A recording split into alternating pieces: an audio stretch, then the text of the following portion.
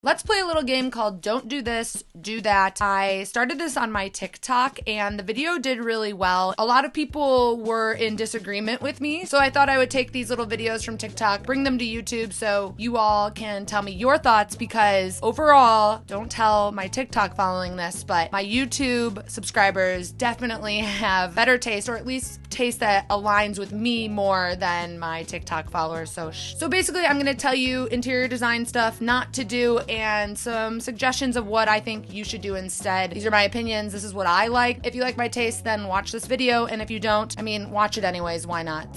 so let's get started on don't do this, do that.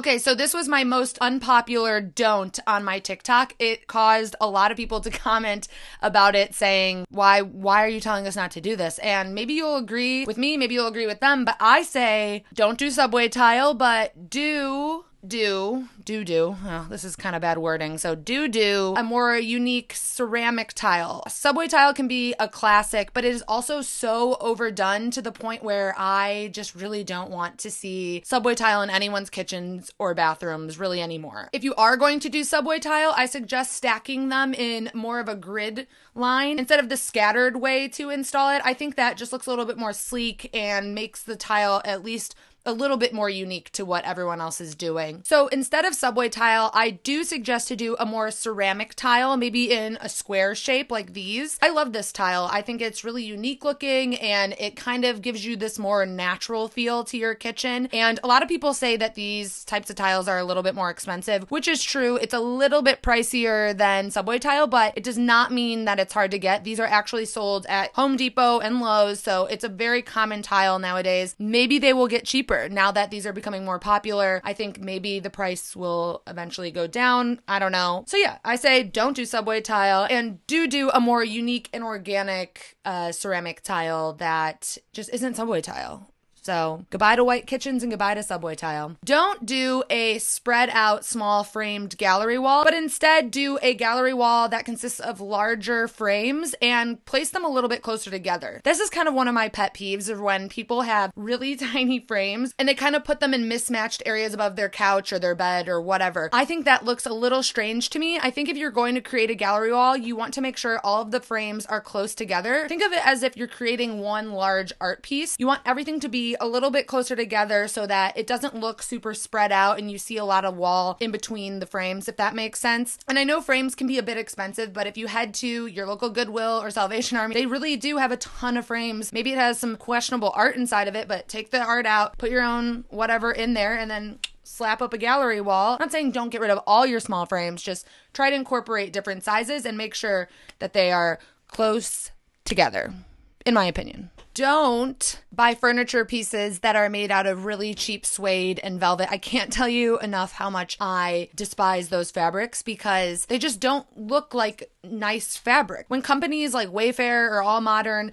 create, you know, they say a suede couch or a velvet couch and it arrives and it's like this fake material that's not actually the type of fabric you were expecting. So I would avoid, you know, pieces like this. I would avoid furniture pieces that may have a cheap fabric. If you if it looks like it's cheap, it's going to arrive cheap. So instead, do buy pieces of furniture from Craigslist, OfferUp, Facebook Marketplace, Chairish, all of those places that I've mentioned in pretty much every video. I think it is so much more valuable and you get so much more for your money when you buy a used piece of furniture that is actually of good quality. I bought my sofa off of OfferUp. It was from this family that lived in the suburbs of Chicago, and this couch sat in their living room that they never used. You know, that one room that no one goes in except it's like Christmas morning or whatever. Yeah, that was their couch. So it was basically brand new, and I I absolutely love it. So I would try to stay away from those fast furniture companies. It's just going to give you really terrible fabric, terrible quality, and it's really just not worth it. So if you're on a budget, buy something used. If you have a little bit more money to spend, I think you should just spend that little extra dollar to get something that is of good quality and is going to last. So basically, don't buy furniture with cheap fabric and instead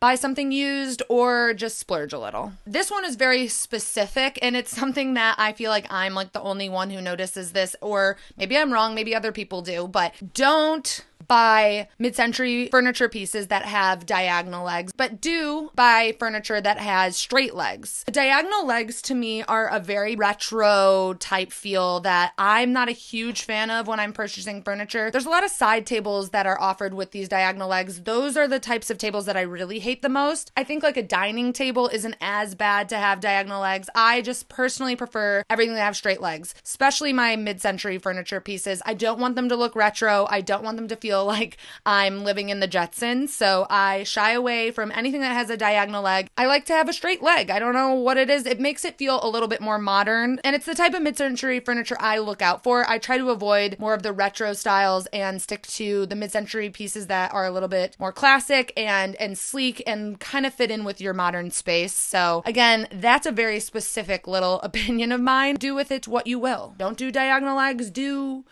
do do straight legs. Okay, another unpopular opinion because so many people are doing this to their spaces. This kind of goes hand in hand with subway tile and all white kitchens. So don't vomit brass all over your kitchen, but do incorporate brass in smaller touches and make sure it's a more antiqued brass, something a little bit more vintage feeling. I can't tell you enough how much I hate kitchens that are all white, have all brass, and have marble. I'm pretty sure this is a majority of kitchens in America. So if you're going to incorporate brass, which I do like, I do like a nice little touch of brass. Specifically, I like brass faucets. Incorporate a nice antiqued brass vintage faucet in your kitchen and you can even do the handles too but just avoid that really bright colored gold i would stick more to an antique brass and try to keep it to a minimum it doesn't need to be everywhere if it's on your cabinet handles and your sink faucet maybe you don't need brass stools or brass dining table legs you know just just relax a little on it. It kind of goes hand in hand with my boho vomit. Like, let's not vomit boho. Let's not also vomit brass. Are we all in agreement on this one at least? I talk about lighting in every single video, so we'll make this one nice and quick because I think we all understand where I'm going with this one. Don't use fluorescent lighting, but do use nice warm lighting. That is so important in your space to have good lighting. I've said this so many times. Even if you have the most outdated home, or maybe you're renting a space that is a little bit more outdated, or you know, it just doesn't isn't fully your style. Focus on the lighting. Replace all the bulbs to warm lighting. Add in some nice table lamps, floor lamps, whatever it is. Lighting will change your entire space. Also, if you're handy, you can install dimmers. It's actually extremely easy to install dimmers. My sister even rents an apartment where she installed dimmers on her own lights. That's how easy it is. It takes 15 minutes out of your day. Just make sure to shut off your power when you do it. If you want a good tutorial on how to do this, go check out Brady Tolbert on Instagram. He recently posted about how to install dimmers. It's extremely easy. I know it sounds a little terrifying to mess with electrical stuff, but it's I've done it. My sister's done it. It's possible and I'm telling you now, it will change your space. So don't use fluorescent lighting, but do use warm lighting and install dimmers if you can. Don't hang your curtains right at the top of your window, but instead hang them almost to your ceiling or at least a few inches above the top of your window. This is guaranteed to make your space feel taller. A lot of people think you have to put your curtain rod right at the tip of your window, but you really don't have to. Just invest in a curtain that is a few inches longer and put the rod just a few inches above the top of the window, maybe as far to the ceiling as you can. It will make your space feel so grand and it will make your window feel larger. It just little touches like this are worth it. Maybe it's a little bit more expensive to buy a curtain that has, you know, an extra six inches on it, but it really will do wonders for your space. So don't hang your curtains right above the window, but do hang them almost to your ceiling or as high up as as you can put them. Don't use decor all from one era. If you're furnishing your house, not everything needs to be modern, not everything needs to be mid-century, not everything needs to be boho. Maybe mix and match a little, incorporate some modern pieces, incorporate maybe some art deco pieces, have a mid-century, you know, piece of furniture as well. It's really nice to mix everything. It keeps your space feeling fresh and it doesn't kind of take you back into a time warp, especially if you like your space to feel a little bit more eclectic. I personally like to mix and match all of my furniture pieces. And then of course, add in a few trends here and there because trends are fun to participate in. I participate in trends. Why not? But you don't want your whole space to be what's in style right now. So I like to incorporate a few pieces that are on trend, maybe a travertine side table or that checker print. Those are very trendy right now and I like them, so I'm going to incorporate them. So don't have your space be all from one design era, but instead mix and match and don't be scared to take risks into pieces that you maybe have never purchased or used before. All right, that is the end to my first round of don't do this, do that. TikTok liked it. Does YouTube like it? I don't know. Let me know in the comments if you like this video and I'll make more because I have a lot of things that I think you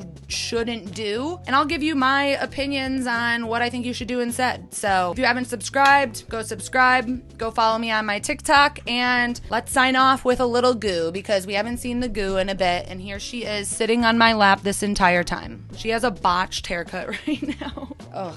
Sometimes she she's very old and sometimes she just looks very old. Say goodbye. Say goodbye to you over. All right, well that is it and I'll see you in a week. Happy Sunday.